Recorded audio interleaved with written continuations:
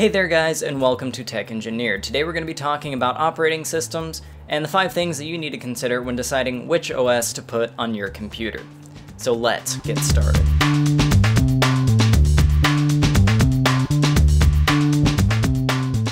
So first let's answer the question what is an operating system?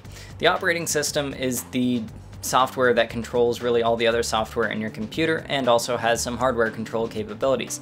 It's designed to be the base of the computer's processing and allows you to interface with the computer more easily than using machine code, basically changing the computer to where it's built to complete whatever task you want it to complete. So we use operating systems because we can build a standard computer, throw an operating system on it, and it allows us to queue up, schedule tasks, and just interface with the computer and operating systems have grown to be more and more user-friendly, allowing your average consumer to use them, and they don't even realize kind of what the operating system is doing, that's just how they use the computer. And the operating system plays the biggest role in user experience since it is how you directly interface with the computer and complete your computing tasks. So it's a very important decision, and honestly, there aren't a whole lot of choices when it comes to the operating system on the computer, so it can be an easier decision or if you're kind of a middle ground user, it could be a very difficult decision. And if the OS doesn't fit the user, then the user will definitely be very frustrated because they won't be able to do exactly what they need or how they want to do it.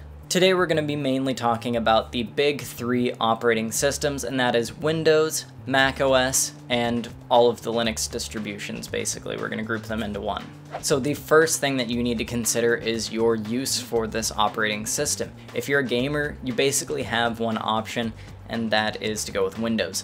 Now, some people argue that Linux might be better for gaming because it is a lighter weight operating system, thus giving you more performance. However, I think performance optimizations within Windows really improve it for gaming, not to mention all games are made for Windows, and Linux has a very limited library of games that you can play, and it's basically limited to Valve games plus a couple others. Now, if you're coding, then you might want to use Linux, because Linux kind of allows you to have kind of a free open space to test and write your software. And for Linux, generally my rule of thumb is if you don't know that you need Linux, you don't need Linux. Because most people that are going to be doing this type of software stuff are just going to know what exactly they need and why they need to use Linux. So Linux is generally just something that most users don't need to worry about, but I mean, it is a good option for coding and other such stuff. And macOS was generally designed for content creators and kind of general users that needed a better user experience. However, I think that content creators are better off using Windows just because of software availability and compatibility. And just Apple's kind of trimmed down their operating system to not be as friendly to content creators. However, if you're an amateur content creator, a lot of things are easier on an Apple computer, so you might want to get started using an Apple computer and look at moving to a Windows-based workstation in the future to where you can get some more performance and get some better software compatibility and feature sets for your content creation. Now, general users, they might want to go with macOS just because they're going to be using it for email, surfing the web, and they just want it to be super user-friendly and not fail that often and be a really reliable OS, and then you might want to go with macOS and buy an Apple computer. The second thing that we need to consider is the cost of the computer. Generally, Windows is going to cost you anywhere from 100 to $120 for the Home Edition and like around $200 for the Professional Edition of their operating system. And you just buy that, load it on your computer, and you're good to go. You enter your key in, and yeah, that's it. With macOS, the only way to get it is to buy an Apple computer, and that kind of raises the upfront cost because of the large amount of money that Apple computers cost. They're more expensive machines, therefore you're kind of having to invest in the machine to get the operating system. So if you think that the Mac OS will fit you, you're going to be limited to Apple computers, whereas Windows, you can buy all kinds of computers with Windows on it or put it on your own custom built computer. Now Linux you can find on some computers, but mainly it's going to be for download because Linux is free, and that makes it the lowest cost solution. So I guess coders and software engineers and people that just like using Linux are rejoicing because it's free, but it, most Linux distributions are open source and they're just free to download and load onto your computer. So if you're needing something super cheap and need to get your computer up and running and you need to go for like the lowest cost possible, you might want to think about getting Linux and just know that it might not be as user friendly as a lot of other operating systems, but hey, it's free. The third thing that you need to consider, which I kind of touched on a little bit when talking about macOS, and our first thing to consider, is the usability. The usability of the computer is very different between these operating systems. The Usability of Windows generally falls somewhere in the middle. It's kind of what everybody's familiar with, but it's not generally the best built. Mac OS is generally going to be the easiest to use, whereas Linux is going to be the hardest because sometimes software downloads and stuff in Linux require you to use the Unix terminal, and general users are going to have a hard time with that, whereas Mac OS, most things are just kind of click and drag however you logically think you can accomplish a task in the operating system is generally how you accomplish the task in the operating system. So, yeah, if you want super usability and stuff, I'd go with Mac OS, honestly. And then Windows comes in second, then Linux is probably the least usable. But Linux being the least usable also makes it the most customizable, which is our fourth thing to consider is how customizable it is which I think that Windows and macOS kind of tie there. Windows does have some like color change features with the taskbars and stuff, which kind of puts it ahead of macOS, but they're basically the same.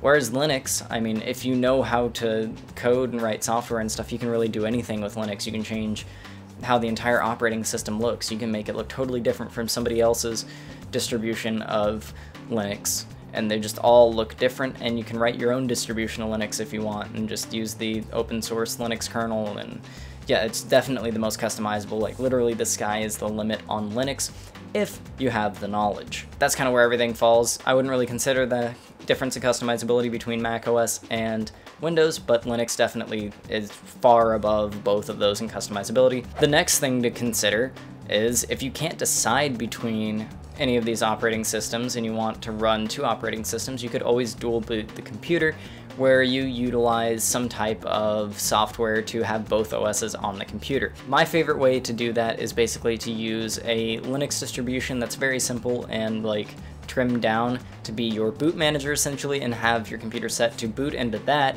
and then utilize that to select whether you want to boot into any other operating system that you put on it.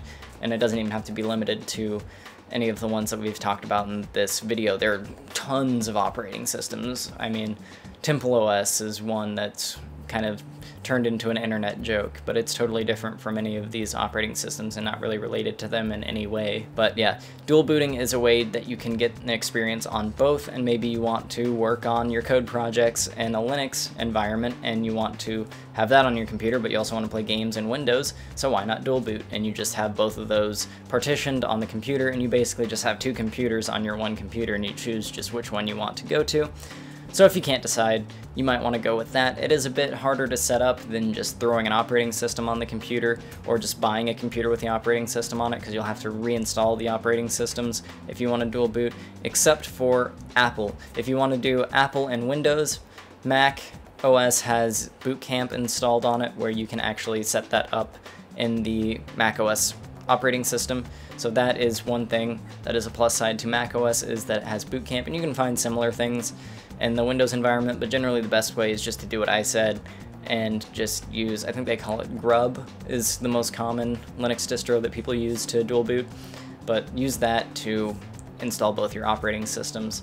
And yeah, that's really only for advanced users though. I wouldn't recommend that for your general user unless you really just want to give it a shot and learn some things about computers, which is kind of how I learned things about computers. I probably did things that weren't too smart, but I did them and I learned from them. So if you want to do that, you can go ahead and do that. I hope you guys liked this video and I hope it kind of gave you some insight into operating systems and helped you decide which operating system best fits you and your computer. If you did like it, leave a like on this video. If you like the content on this channel, go ahead and subscribe. If you have advice for future content that I can make, leave that in the comment section below. Gosh, dang it. My computer is giving me notifications. Go away. Stop it. Okay, leave your advice in the comment section below, check out the videos on the end screen, and I will see you guys in the next video.